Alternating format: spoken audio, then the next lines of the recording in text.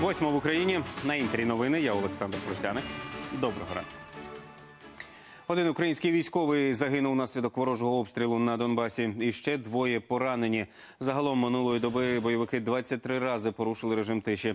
Атакували із заборонених мінськом великокаліберних мінометів, а також з гранатометів, снайперської та стрілецької зброї. Під вогонь окупантів потрапили оборонці Красногорівки, Мар'їнки та Павлополя. Неспокійно було і поблизу Кримського, Троїцького і Травневого. Німеччина не видає візи жителям ОРДЛО, які одержали паспорти РФ. Про це офіційно заявили в МЗС країни. Напередодні у змі з'явилася інформація, що мешканці окупованих районів Донецької і Луганської областей отримують німецькі візи у нові російські документи. Їх нагадаю почали масово роздавати на окупованій території Донбасу весною. В ЄС тоді заявили, що не визнаватимуть російських паспортів жителів ОРДЛО.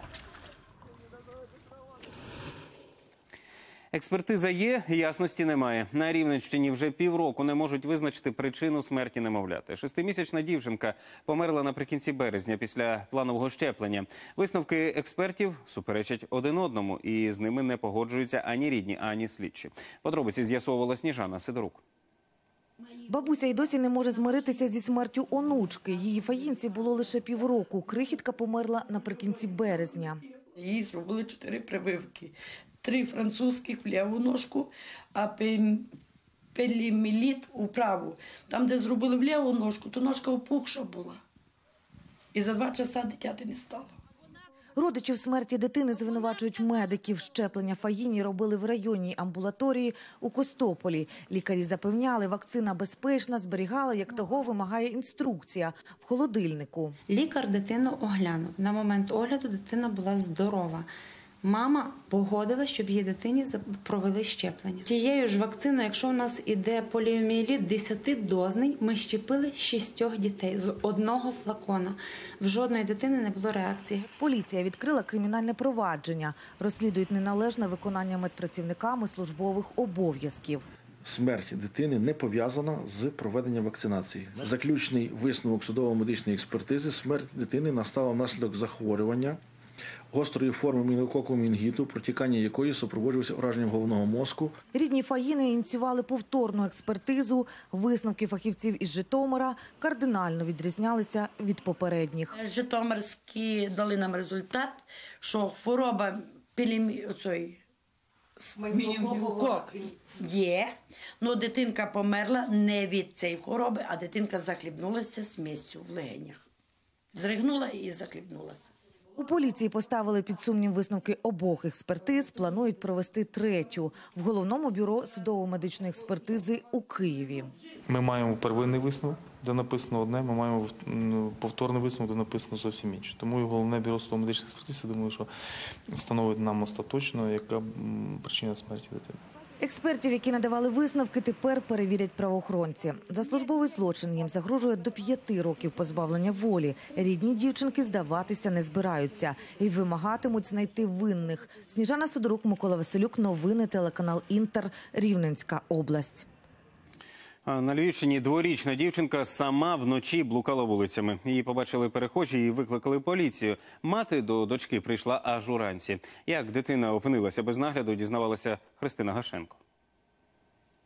Дворічну дівчинку об 11-й ночі саму на вулиці помітили відвідувачі місцевої піцерії і викликали поліцію. Виїхав наряд ДСО, який е, почав питатися дитини, чи де її батьки. Вона не могла нічого відповідати, була такому якомусь десь в шоковому стані. Вони її відвезли на швидку. У лікарні медики відразу оглянули та нагодували малечу. Скільки часу дитина блукала на вулиці, невідомо. Зауважень до стану здоров'я яких особливих не було. Е, Показники життєдіяльності були в межах вікової е, норми. Нагодували, переночували. Батьків дівчинки правоохоронці розшукували через соцмережі. За кілька годин відгукнулася хрещена. А вже о сьомій ранку до лікарні прийшла сама мати на підпитку. У крові жінки виявили 1,6 проміли алкоголю. Вона була десь е, в стані такому, що е, байдужа, вела себе агресивно, Буцімто всі її щось зробили погане. Був від неї різкий запах алкоголю. Тобто, якщо людина вживає там бутилку пива і на другий день не чути, то а тут був таке враження, що вона допізна вживала спиртні напої. Жінка розповідає, доньку та ще двох своїх старших дітей залишила на батька. Сама ж поїхала на кордон перевезти товари. О, подзвонила людина, каже, все треба їхати. Я сіла в машину, поїхала. А що сталося, не знаю. Я вже телефон мала, до дітей подзвонила. Дуже шкодую. Не буду більше дитину нікому не лишу. Сусіди розповідають, сім'я живе в скруті, мають борги за квартиру. Старші діти увічливі часто допомагають матері по господарству. Діти чемні, діти вітаються якось, знаєте, такі. От я бачила, коли дітки, е, то такі, я не знаю, одна ходить в школу, друга чи ходить, чи ні, але так от бачила, виносить і сміття, і того, що допомагають мамі. Через те, що мати була не твереза, доньку правоохоронці забрали. Наразі планують віддати малечу в будинок дитини. А за два тижні спеціальна комісія вирішить, повернути дівчинку в сім'ю чи позбавити жінку материнських прав. Христина Шенко, Юрій Голубінка. Новини телеканал Інтер. Львівська область. Щонайменше 22 людини загинули внаслідок землетрусу у Пакистані. Ще кілька сотень постраждали. Поштовхи магнітудою 5,8 сколихнули північ країни. Центр зафіксували у підконтрольній Пакистану частині області Кашмір. Цей регіон вразило найбільше. Сотні будівель зруйновані, на дорогах утворилися ущелини. На допомогу спорядили військову авіацію, рятувальників і медиків. Наразі тривають пошуки вцілілих після землетрусу. До рятувальної операції залучили військових. Ми вже направили для потерпілих усе необхідне: дві сотні наметів, 800 ковдр, 200 наборів кухонного начиння, сотню аптечок. В Індонезії тисячі людей вийшли на протест через заборону позашлюбного сексу. Такий законопроект наразі розглядає парламент. За любощі до одруження загрожує рік загратування. За громадянський шлюб до шести місяців. Крім того, документ містить заборону абортів та покарання за образу президента. У столиці Індонезії Джакарті протести переросли у сутички з поліцією. Мітингарі закидали правоохоронців камінням. Ті у відповідь застосували сльозогінний газ і водомети. Картину вартістю 6 мільйонів євро знайшли на кухні у французької пенсіонерки. Це полотно італійського художника Чимабуе з назвою Осміяння Христа. Датується 13 століттям. Тривалий час його вважали втраченим, аж доки жителька містечка Комп'єнь не вирішила з'ясувати, скільки коштує ікона, що висить у неї над плитою. Мистецтвознавці порівняли картину з іншими роботами Чимабуе і підтвердили її автентичність. Наступного місяця шедевр планують виставити на аукціон.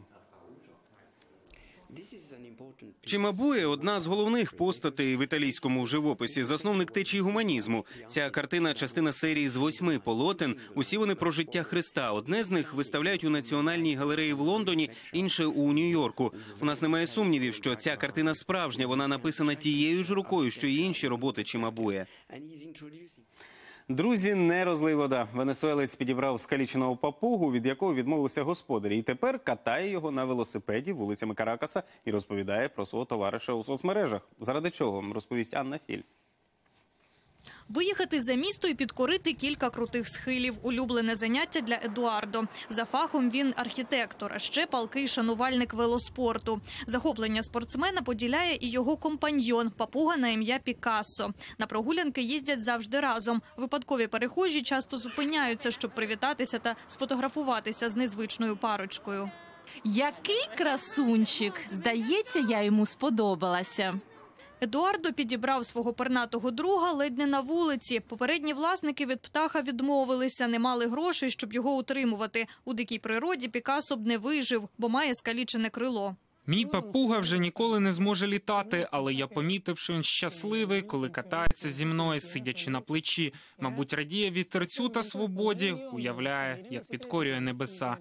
Птах належить до виду ара. Це найбільші та найяскравіші папуги. Їх приручали ще давні індіанці, бо ара добре уживаються з людьми.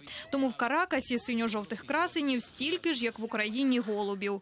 Я хочу показати людям, що ара розумні, шляхетні, віддані птахи. Їм потрібна любов і турбота. Тут усі звикли до папуг, які літають де хочуть, але слід пам'ятати, що пернаті можуть бути справжніми друзями для людини. Поїздки зі своїм крилатим товаришем Едуардо регулярно знімає на відео і викладає в соцмережі. Завдяки цьому вони вже стали місцевими знаменитостями. Едуардо сподівається, що його історія надихатиме людей бути добрішими та піклуватися про братів наших менших. Анна Філь, новини телеканал Інтер. Наразі це все. Більше новин буде у випуску о 9 годині. Тоді побачимося. До зустрічі.